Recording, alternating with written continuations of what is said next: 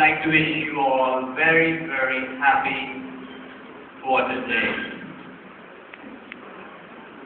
And here, uh, my uh, topic of my presentation is uh, water conservation. And uh, water conservation, we all know how to save the water, but uh, here, water to drink, something about water. Uh, what's the percentage in our body? 66% in human body, 66%. Human body is made of 66% water. That means if we remove the water, human body will left with nothing. It will left with a skeleton, nothing else. And uh, if we talk about some uh, dehydration, you all know about that. Dehydration means, uh, um, if we talk about it, dehydration, 2% dehydration de- uh, decreases our performance 20%. That means if uh, it is uh, compared with 66%, 66% it is uncomparable with 2%. That is 2% lack of water decreases 20%. That is a great number. And we should drink at least. That is, uh, we should drink at least 1.5 liter water per day. That is the general consumption of our body. Please. Uh, water diseases.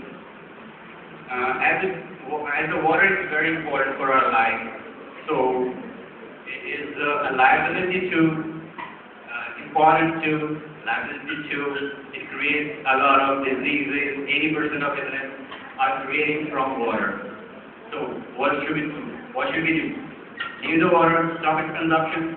No, we cannot. We really cannot stop using water as it is so much important for our life.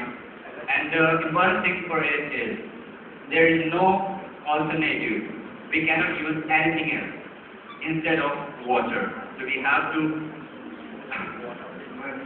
find some cures or to cure uh, the illness creating from water. 90% wastewater. We have authority. We are given a birthright to use water. So, if you want, we can waste it. But it is unethical. Next, please. Two-thirds of um, planet, I mean, Earth is full of water, 75%. That means uh, we can use uh, as much as water as we want, but we cannot. We have provided only 0.03% of water that we can use for our drinking purpose and some other purposes that we are um, requiring for. So we have to um, save water, and it is very important for us. And uh, 97.5% of water is cold water, so we cannot use it. The majority of fresh water is beyond our reach. Love is polar, uh, polar snows and in form ice caps, and it is very expensive and totally impossible for us to use. Next, please. Um, clean water. We have to use only clean water. This is very well known. And about 1.1 billion people uh, in the world do not have access to safe water. Just about 20% of the population have no access to pure water. And um, if uh, I talk about our, we are much, much more, I mean, say we are very great in number ahead of these people. We are blessed with a super, uh, I mean to say, a substance that is incredible. Water is just incredible, and we are blessed with it. So we have to thank God for that. Thank you. And uh, if we talk about the uses of water, it is mostly used in agriculture, 70 percent in domestic and industry. We all know uh, saving water. Uh, generally, we generally we need one one fourth one liter water for brushing our teeth, but we use and leave the tap on while we do brushing. So it is uh, sensible to you can close the tap for a while.